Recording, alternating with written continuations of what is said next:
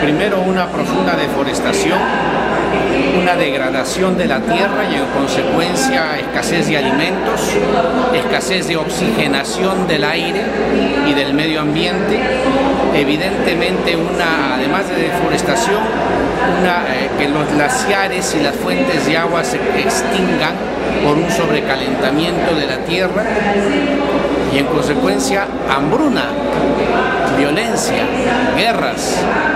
Las consecuencias son tremendas.